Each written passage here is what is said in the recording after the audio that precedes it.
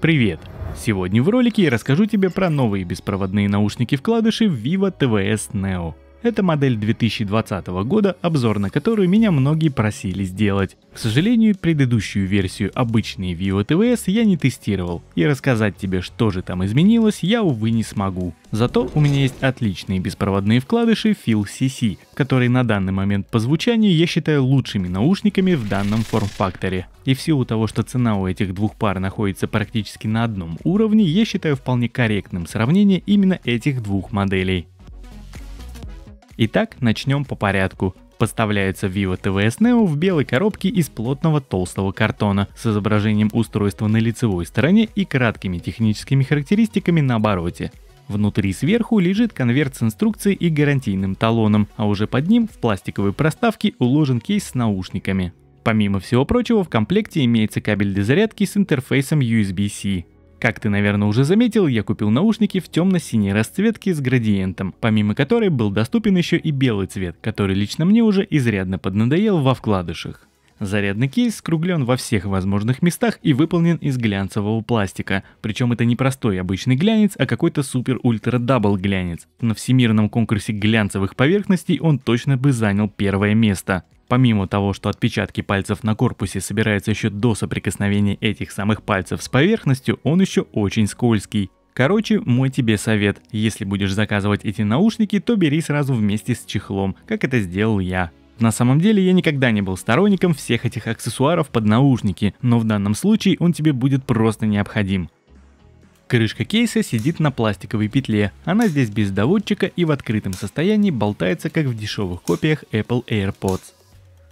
На передней стороне зарядного кредла расположена одна физическая кнопка, необходимая для активации и подключения наушников. Индикатор состояния, который поместили над этой кнопкой в рабочем режиме, имеет только два цвета. Когда кейс заряжен больше 50%, он горит зеленым, а если осталось меньше 50%, он меняет свой цвет на оранжевый. По факту, конечно, это не слишком информативно, но в тех же наушниках Feel CC нет и такого. В кейсе установлен аккумулятор на 400 мАч, а в каждом наушнике по 25. И вот что касается времени работы от одного заряда, то на 100% громкости они отыграли у меня 4 часа и 50 минут, что для такой емкости довольно неожиданный результат. Но на самом деле все объясняется довольно просто. Дело все в том, что уровень максимальной громкости в этих наушниках процентов на 30 ниже, чем у вкладышей Feel CC. Оттого я и получил такой результат, ведь чудес, как известно, не бывает. Ну а непосредственно про сам звук я расскажу тебе отдельно, и уже очень-очень скоро в этом обзоре. А пока у нас на очереди сами наушники. Ты наверняка знаешь такое выражение «красота требует жертв». Так вот, в этих наушниках оно работает на все 100%, ведь с виду они выглядят очень красиво, но на поверку оказались вообще непрактичными.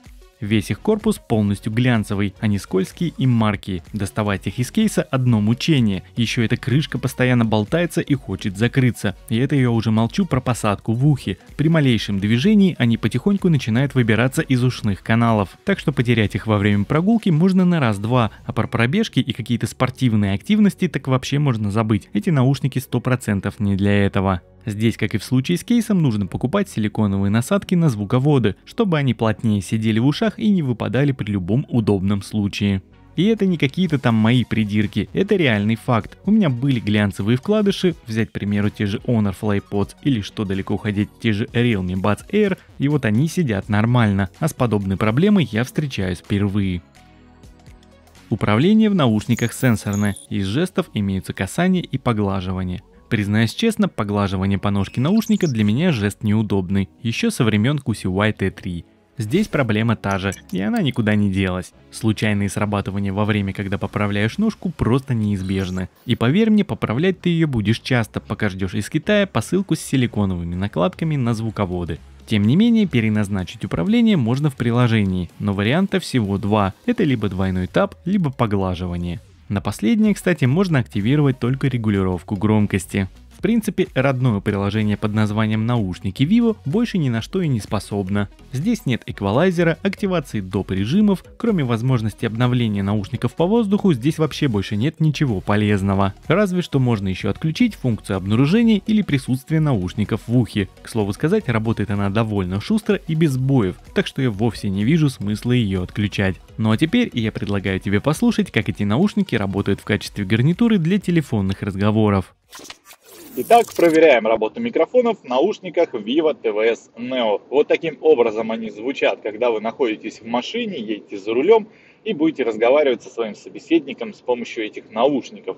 Я сейчас буду открывать окна, чтобы создать максимум шума, чтобы посмотреть, есть ли в этих наушниках какой-нибудь шумодав.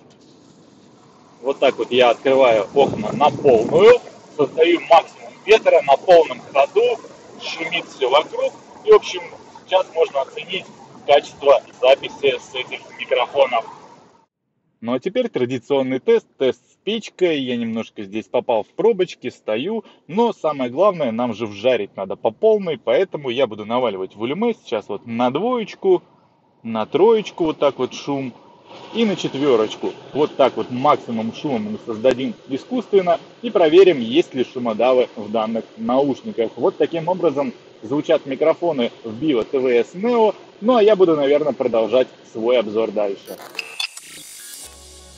В наушниках заявлено три аудиокодека. Это SBC, AEC и aptX Adaptive.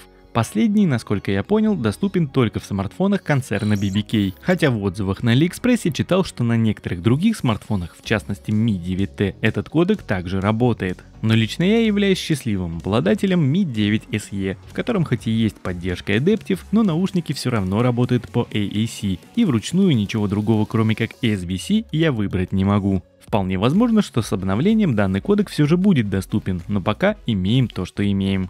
Тем не менее, справедливости ради могу сказать, что даже на кодеке AAC звук в этих наушниках классный. И я сейчас имею в виду именно качество самого звука, а не его громкость, про которую я уже сказал выше. Так вот, что касается частотных характеристик, то в Vivo TVS Neo настроено все идеально, по крайней мере на мой слух. Верхние частоты звучат звонко и четко, без песка. Вокал на серединках слышно великолепно, особенно он радует в женском исполнении. Ничего никуда не провалено, преобладаний одних частот над другими нет. Басовая составляющая также имеется в наличии, и ее вполне хватает. По крайней мере для прослушивания электронной музыки звук здесь очень даже хорош. И вот все бы ничего, но озвученное мной сейчас описание имеет право на жизнь лишь при одном условии. Наушники должны сидеть в ушах идеально. В противном случае хорошего звука ты не услышишь. Я сам не сразу понял в чем прикол, и лишь только после того, как надел поролоновые насадки от каких-то своих старых вкладышей, я смог все это услышать. Изначально я вообще не понял, за что я заплатил такие деньги, ведь из-за глянца наушники плотно не садятся, как бы ты их глубоко не пытался запихнуть. Мне сложно представить человека, у которого спустя время они не выпадают из ушей. Так что, как по мне, вот эта вся история с насадками и чехлами вообще того не стоит. При прочих равных, хотя по-хорошему никаких равных в этой ситуации и вовсе нет, наушники Phil CC просто уделывает в пух и прах Vivo TVS Neo, потому как садятся отлично и без лишних костылей.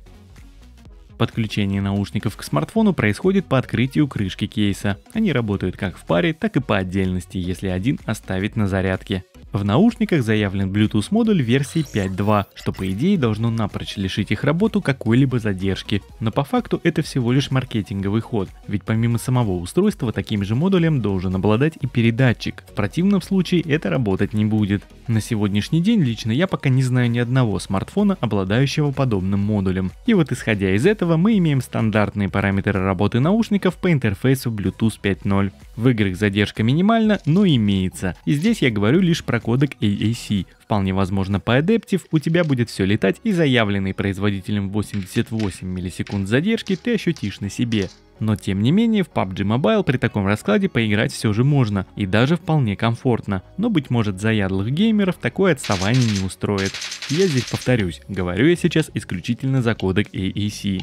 А вот в ютубе все намного лучше и слышимых задержек не имеется. По крайней мере при просмотре роликов я все слышал вовремя и без отставаний. Из интересного в этих наушниках меня удивила дальность их работы. Как выяснилось, на открытой местности они играли без обрывов на расстоянии аж 35 метров. Подобного результата у других производителей я, если честно, как-то даже не припомню. Ну и подводя некий итог, что могу сказать. Несмотря на все имеющиеся плюсы в Vivo TVS Neo, я считаю их довольно компромиссными наушниками. Уж очень много в них сделано неудобно. Скудное управление, ужасно скользкий и маркий глянец, который вынуждает тебя скрывать всю их красоту за силиконовыми накладками, а также кодек aptX Adaptive, который вроде как должен быть плюсом, но на данный момент работает не на всех смартфонах, даже его поддерживающих. Плюсом ко всему, лично на мой слух, они не очень громкие, по крайней мере в сравнении с наушниками Phil CC. Я вполне допускаю, что кому-то это минусом не покажется, так что здесь особо заострять внимание не буду. Не все, так как я, любят навалить волюме на полную. Если же говорить в целом и поставить вопрос ребром, Phil CC или же TVS Neo от Vivo, то лично я отдам свое предпочтение первым, так как мне нравится в них практически все. Единственное, что напрягает спустя уже время, так это невозможность узнать заряд, оставшийся в кейсе. Здесь, кстати, в качестве неплохой альтернативы за чуть меньшие деньги прекрасно выступит вариант с Realme Buds Air, если, конечно, тебя не пугает их автономность, потому как кроме этого параметра они ничем не хуже Vivo TVS Neo. В общем, вот такие вот мысли у меня были по этому поводу. Ну а что думаешь ты, как всегда, пиши в комментариях. А на сегодня у меня все. Спасибо тебе за просмотр и увидимся в следующих видео. Пока-пока.